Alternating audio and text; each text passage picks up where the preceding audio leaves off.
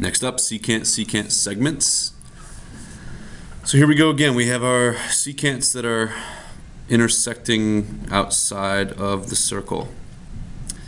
And what's formed here, what we're going to actually deal with are the lengths of the segments, whereas in the previous video we dealt with angles and arcs and things. So here's the rule, right? You want to immediately sort of train yourself to go to the point of intersection and we're going to say that the the uh, segment that's closest to that point of intersection multiply that by the entire secant. So in these colors it's yellow times blue. Set that equal to this little segment that's closest to the point of intersection times the whole secant. Alright, so again it's the little piece times the whole thing equals the little piece times the whole thing. So let's do a few examples here. Number one. So here we go. We want to start with, just pick one of the, the secants, doesn't really matter. Let's start with that one. So I'm going to go, all right, the point, the segment that's closest to the point of intersection times the entire segment. The entire segment is the sum of these two things, which is 7 plus x, equals the segment that's closest to of intersection times the whole segment. The whole segment is 14 down here, 8 plus 6. So here we go. We're going to distribute. We get 49 plus 7x equals 60 plus another 24 is 84. We're going to subtract 49 from both sides. So we get, let's see, 84 minus 49. Let's do it the old-fashioned way here. 35. Looks good. We'll divide by 7. X is 5. All right, common mistake. It's always worth mentioning some of these. A common mistake that I see a lot in this lesson is for students simply to say 7 times x is equal to 6 times 8. It's not true. Don't do that. Also, some people tend to start with with the wrong piece. They'll say x times the quantity 7 plus x is equal to 8 times 14. They'll start with this segment instead of the one that they should be starting with, the one that's closest to the point of intersection. So be careful with some of those those really uh, common mistakes that I see a lot. Number two, might be a good time to pause this, try it yourself. We're going to go to that point of intersection. We're going to say 8 times times the whole thing. The whole thing is 8 plus this. So it's 8 plus 3x plus 1 equals 7. 7 is the side that's closest, little segment that's closest to the point of intersection, times the whole thing, 7 plus 4x plus 1. We've got to do some uh, simplification. We'll go inside our parentheses. 8 plus 1 is 9. Inside our parentheses, 7 plus 1 is 8. We're going to distribute. Distribute. So we get 72 plus 24x equals 56 plus 28x. We have variables on both sides, so I'm going to leave the the variable expression with the larger coefficient where it is. I'm going to move the other one over. So I'm going to subtract 24x from both sides. That leaves me with 72 equals 56 plus 4x. Get the 56 over to the left by subtraction. That'll give us 16 is equal to 4x. x is 4. Cool, and you can check that, of course, by plugging 4 back in here and in here to see if it works. I'll let you do that on your own. Number 3. Number 3 is a little bit more challenging. Let's see here. We want to go to the point of intersection, say 8 times the whole thing, which is 21, is equal to x times the whole thing, which is x plus 17.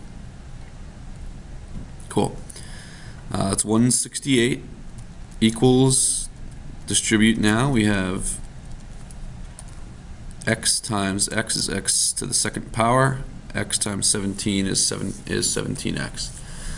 So this is what we call a quadratic. We want to get all the terms on one side. So I'm going to move, I'm going to simply move that positive 168 to the left by subtraction. That leaves me with a 0 on the left. Now we need to factor it.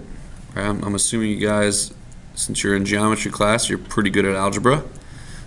If not, you need to get some help with this factoring. But all we're trying to do here is kind of like figure out what binomial products, what binomials will multiply together to get this thing. This is sort of like the opposite of our FOIL method, first, outer, inner, last. So the first terms are x times x. If I multiply those two together, it'll give me this term. All right, and then I go to 168 and I say, all right, what numbers, what are the factors of 168? And I start listing them. So you list those factors, da, da, da, and you come up with a pair, hopefully that adds or subtracts to 17. And let's see, I would say it's probably going to be, uh, let's see, 168. Is there a 7 in there? 7 times 24. There we go. 24 and 7. Uh, so this is in the top, in the quadratic it's positive, negative, which means in the bottom I'm going to have a mix. So if the middle term is positive, the bigger number down here will have a positive next to it, and that'll be negative. Zero product prop. Well, first of all, let's check that. Let's check to make sure that this is the correct factorization. To check that, of course, we're just going to do first times first, outside times outside, inside times inside, last times last. And combine like terms, and sure enough, I get exactly what I want. All right, so we have now we have the zero product property. This is saying that we'll set both of these equal to zero and just kind of work on them separately. So x is negative 24 and positive 7. Those are both solutions to that quadratic. But keep in mind that we're actually dealing with real life stuff. So sometimes real life has restrictions on it. We can't use negative 24 in here because that would give us a negative length. Can't have a negative length. So that would be something that we would call an extraneous solution. Number four. All right, here we go. 6 times 10 is equal to this segment. I'm going to write it like this. A little easier for me to see for some reason. Negative 4 plus x is the same as x minus 4 times the whole thing. The whole thing is negative 4 plus x plus negative 2 plus x.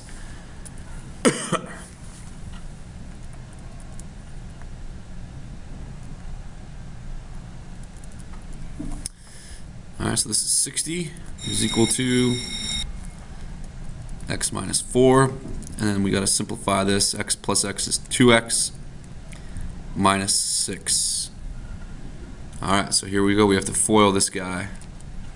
We have to FOIL this guy, and we're going to go 60 equals 2x squared. I'll go a little faster here.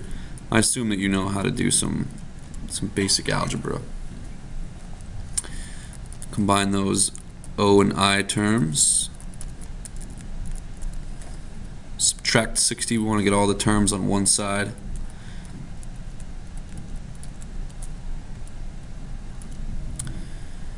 And that's our quadratic. If you're struggling on how to solve these quadratics, look up a video on quadratic equations. solving quadratic equations by factoring. Uh, you can also use the quadratic equation, or quadratic formula rather, or like your calculator or something. But um, what I'm going to do is I'm going to notice that there's a GCF.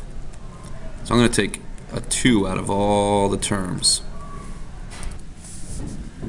And I think I made a mistake here. You probably caught that before I did. 24 minus 60 is negative 36. Cut that in half. We get negative 18.